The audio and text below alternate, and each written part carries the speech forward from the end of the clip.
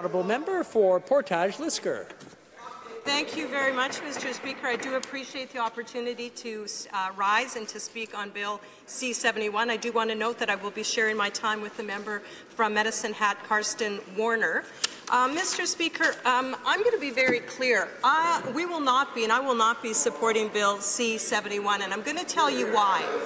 Three basic reasons, although there's a whole list. I could probably give you the top 10, but there probably are even more reasons than that.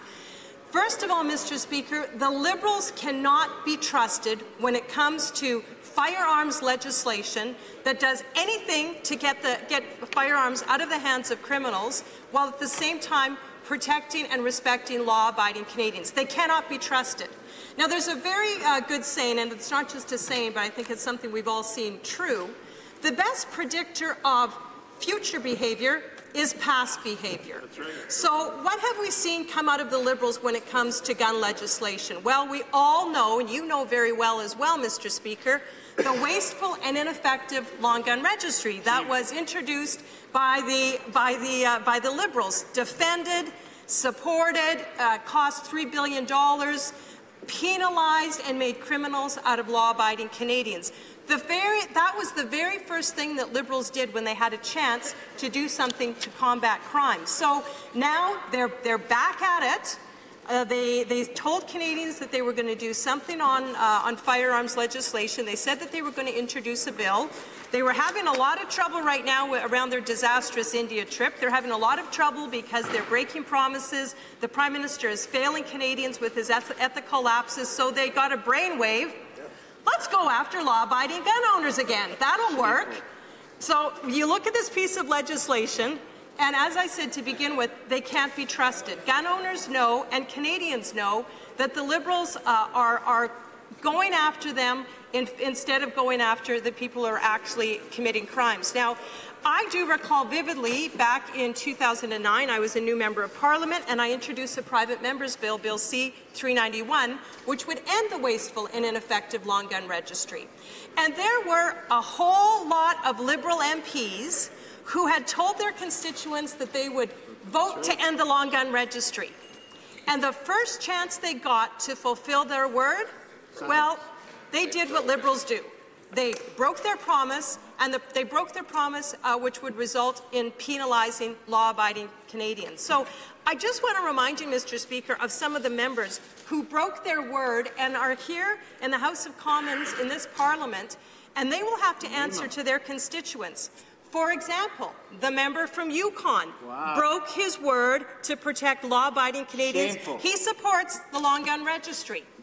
The next one on the list I won't name, Mr. Speaker. The third one I was going to mention is the Member of Parliament from the coast of Bays, Central Notre Dame. He as well had an opportunity to support law-abiding Canadians, but what did he do? He's, he supports the long gun registry. Wow. The member from Malpeque, a member who had promised his constituents he would vote to end the long gun registry. What did he do? Supported the long gun registry. The Minister of Public Safety himself when he was uh, in, the, uh, in part of the opposition, had a chance to end the long gun registry, he voted for it and supported it. Now, you might ask me, why, why are you bringing this up now? Well, as I said, Mr. Speaker, the Liberals can't be trusted because they want to target law-abiding Canadians because it's easy. It's actually very easy to target people who are already obeying the law. People who get a, a license, for example, have a license to own a firearm, or uh, store owners who already keep records.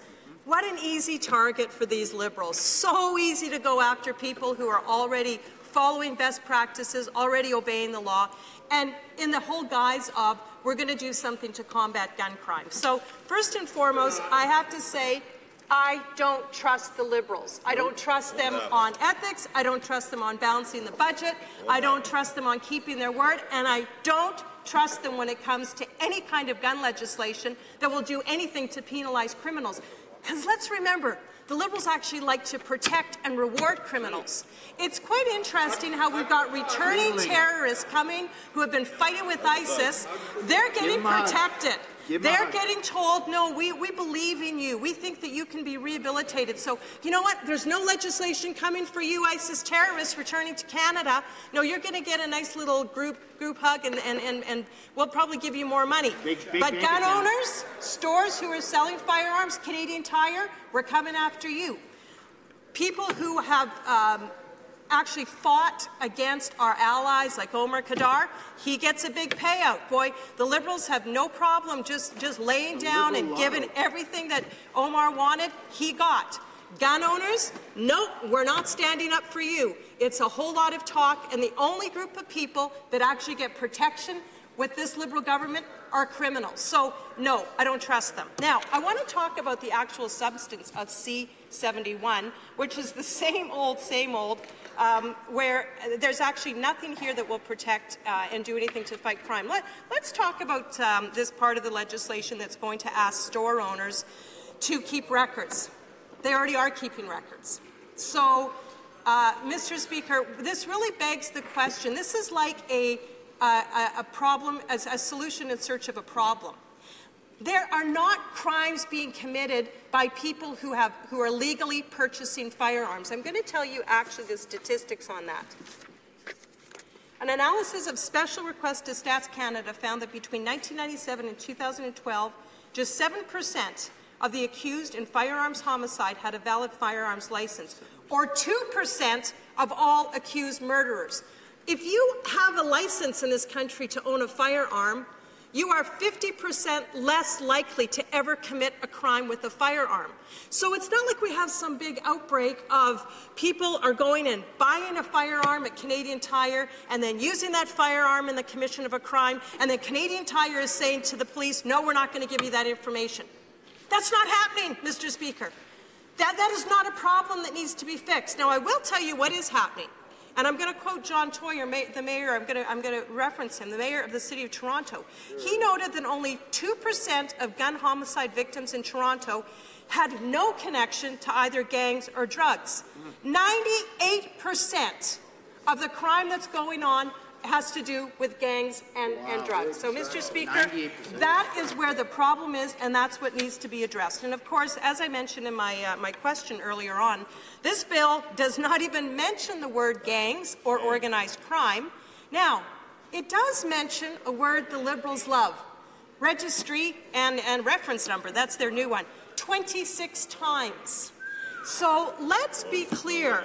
As per the normal Liberal way of doing things, this is getting ready to create another backdoor reg- a backdoor registry, which will then very easily turn into the regular, wasteful, and ineffective type of registry that the Liberals like to promote. So, Mr. Speaker, um, you know, there are so many things, and I know some of my colleagues mentioned some of the areas where people are, gangs are getting guns. Let's talk about this really seriously. We need to get tough on, on gangs and on violent crime. Now, when we were in government, there were a lot of things that we did. We had the Tackling Violent Crime Act. It provided mandatory prison sentences for serious firearms offences, stricter bail provisions for those accused of serious offences involving firearms. Again, tackling the problem, not going after law-abiding gun owners and store owners. We passed the Act to amend the criminal code regarding or- organized crime and the protection of justice system participants, which provides police officers and officials with important tools to help them fight organized crime. Mr. Speaker, Conservatives are the party of law and order. We believe that criminals and people who use guns in the commission of crimes should know that the penalty will be swift and it will be just. Mr. Speaker, we do not believe in attacking law-abiding Canadians who are using firearms for legitimate purposes, nor the store owners who are legally and in a principled way uh, uh, selling those firearms. You know, Mr. Speaker, what the Liberals have done, and I'm going to wrap up with this. They have tried to, because of all of their failures and the problems they've encountered over the last number of months, they're trying to import a problem that's occurring in the U.S. The U.S.